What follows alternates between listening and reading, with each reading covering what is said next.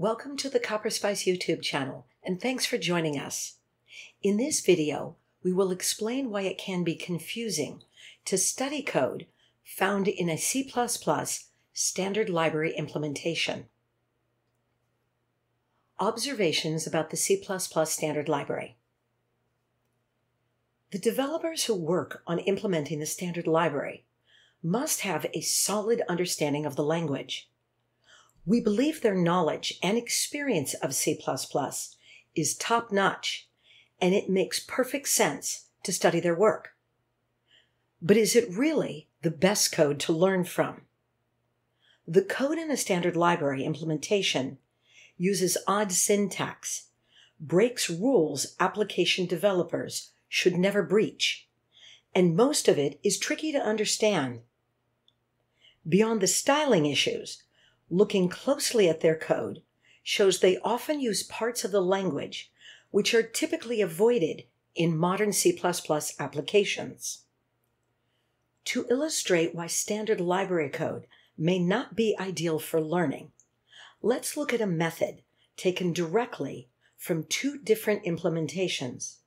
Then rewrite the code as a typical developer would so it is readable and understandable. Then we will be in a better position to decide if this is really a good way to become proficient in C++. The standard library is really an API which defines a set of classes and functions. There are various implementations of the standard library, and they do not always agree with each other, and in some rare cases do not fully match the API. Places like Stack Overflow are full of questions and comments, insisting the code written by a developer of a standard library implementation must be a good example of well written code. So then, why is it so convoluted and seems to violate most good programming practices?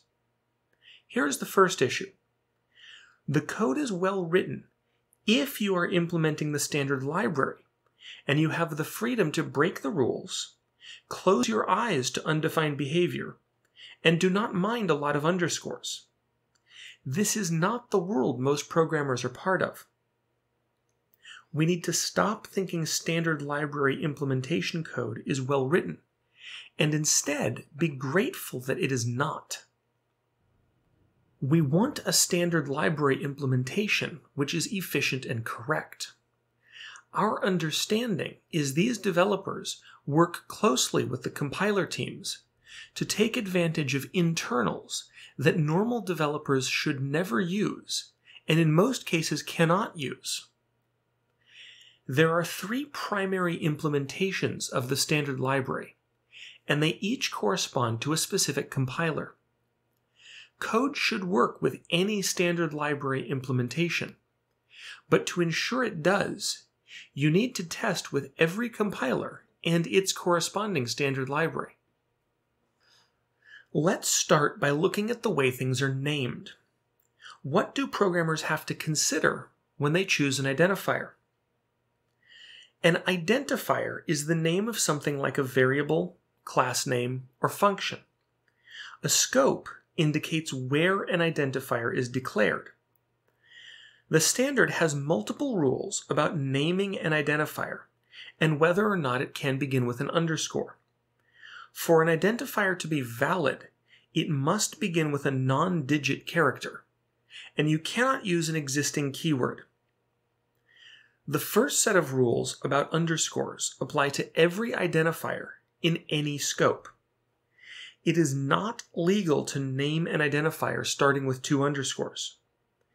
The other rule says you cannot start an identifier with an underscore followed by a capital letter. According to the standard, violating either one of these is undefined behavior. Current day compilers will not report this as a warning. You simply need to know the rules and follow them. The term global scope refers to any function or declaration which is not located in a class or a namespace which has a name. Any function in an anonymous or unnamed namespace is also considered part of the global scope. Here is the less obvious rule. Local variables inside a global function are not part of the global scope, even though the global function itself is part of the global scope.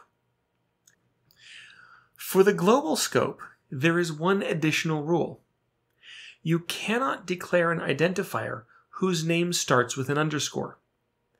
The rules in the global scope are more strict. As an example, in our template declaration, we are declaring a parameter named underscore r, which is undefined behavior in any scope. But if you have looked at code from any standard library implementation, you will notice they use leading underscores everywhere. So why can they break the rules? Actually, they're not. Implementers of the standard library are required to use a leading underscore for their identifiers to avoid naming collisions with user application code. This is not just a coding style, but a design constraint they must follow. The fact it makes the code harder to read is simply one of the challenges of working on the standard library. In the standard library implementation we are going to look at, there is a call to placement new. Let's take a brief look at how this differs from a traditional call to operator new. Example 1 should be very familiar to most C++ programmers. This one line of code does four things. It declares a variable, allocates memory, instantiates an object, and then initializes the variable to point to the new object. This is the normal way to create a new object on the heap by calling operator new. Example 2 is a call to placement new. This code separates the memory allocation from the object instantiation. The first line of code in this example declares a variable and then allocates a block of memory using malloc, nothing more. The second line invokes the new operator and passes an extra parameter. By passing PTR before the data type, the new operator will omit the allocation step and simply instantiate a new widget object in the block of memory pointed to by PTR. The pointer variables obj1 and obj2 can be used to access the new widget objects. The pointer PTR contains the same address as obj2, but keep in mind, PTR is not a pointer to a widget, so it cannot be used to access any methods or data in the widget class. One of the most common use cases for placement new is when implementing containers. Since every implementation of the standard library will provide containers, like std vector, seeing a placement new in their code is reasonable. Calling placement new in a user application should be used with caution and is often unnecessary. Here is one of the potential problems with calling placement new. Let's look at the first two lines of this example. The first line is exactly the same as before. In the second line, we are calling placement new to construct a new widget in the memory pointed to by PTR. So far, this example seems the same. But notice, this time we are not saving the result of calling placement new on line A. Line B does a static cast of PTR, which returns a pointer to the widget. This seems reasonable since there really is a widget at that address on the heap. However, there's a problem. The language in the C++ standard defines using obj3 to access the widget is undefined behavior. We did not expect this, and it feels like a mistake. It turns out the reason this is undefined behavior is because of the rules for compiler optimizers. They are allowed to assume certain facts about pointers, and the access to OBJ3 could be reordered before the object widget is instantiated. In C++20, std launder was added to resolve this conflict. On line C, std launder instructs the compiler to disregard the original data type of PTR.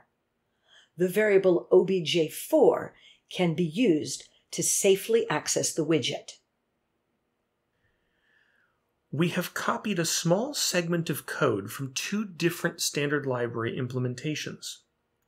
The first one is from the Microsoft implementation, and the other is from libstdc++, which is used with the GCC compiler. The two templated methods we are showing have different names, yet they have almost identical functionality. They might be called when appending a new element to a vector.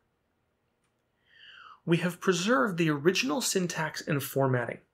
This is exactly how they look in the standard library headers. The purpose of these methods is to construct an object. Notice that both of these contain a call to placement new. This means the memory allocation had to occur prior to calling one of these methods. As a quick reminder, the colon colon before the call to placement new indicates the implementation for new will be looked up only in the global scope. The developer who asked us what this code was doing said it was very hard to read, comprehend, and reason about we realized the best way to explain the code was to start by refactoring it so it was readable.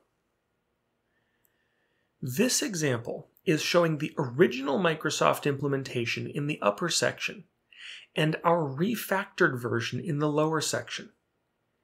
Our code reflects the styling and standard naming rules associated with a user application. Now it is a bit easier to reason about and explain what the code is doing. User application code and standard library implementation code have different rules. The refactoring started by changing the code to use identifiers which are legal in a user application. This meant removing all of the underscores. We also adjusted the formatting and changed a few variable names to improve readability. Now it is easier to see the call to placement new and the forwarding of the constructor arguments. Refactoring the method from the GCC standard library involves similar modifications. Again, most of the work involved changing identifier names. There is no technical reason why we change the template parameter name from args to t's. Using t's is our preference, but both are legal in user application code. On the other hand, there is a very good reason to change this identifier name. In their code, they used a template parameter named underscore args with an uppercase A and a method parameter named underscore args with a lowercase a. This is confusing and will make conversations about the code difficult to follow. Looking at the functionality of our refactored code, it is once again easier to see the body of the method is one statement which calls placement new. The other observation is that neither standard library implementation gives the caller access to the return value of the placement new. It seems reasonable to assume the code which called this method will access the new object. The only option is for the caller to use the pointer which was passed as PTR and cast it to the appropriate type. But as we mentioned, this is invalid according to the standard. So does this mean these standard library implementations of std vector have undefined behavior? No, but there is a catch. The designers of a given standard library need to make an arrangement with compiler vendors to ensure their implementations are compiled to code, which produces the correct result. We hope the small section of code we have reviewed shows why reading standard library implementations to learn C++ is probably not a good idea. There are special rules for naming identifiers. The code often has strange backward compatibility restrictions and may depend on implementation defined behavior. Trying to emulate their coding style in user applications will likely cause undefined behavior and is almost guaranteed to hinder readability and maintainability. For more information about the CopperSpice project, please visit our website at www.copperspice.com. We would like to announce our new journal, which is a collection of articles and small GUI examples with a complete explanation of the code.